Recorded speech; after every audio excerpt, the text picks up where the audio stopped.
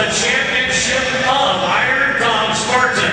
Sixth place tonight. And folks, they did all three competitions for you right here. That's why they are Iron Dog. Sixth place, on Dom, and the semi-duet.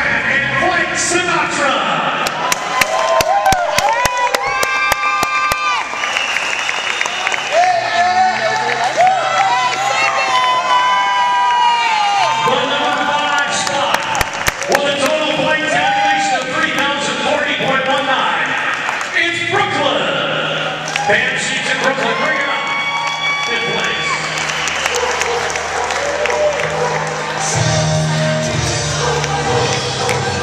Fourth place tonight, points. From California, and 60.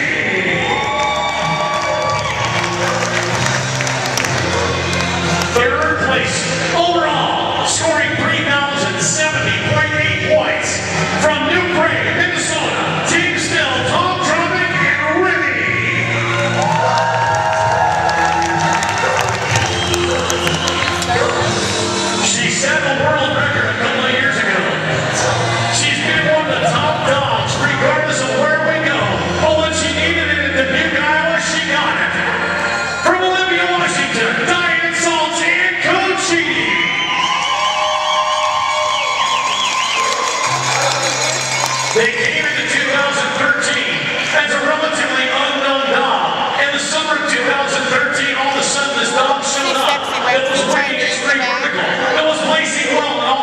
She's on all the forms of disciplines and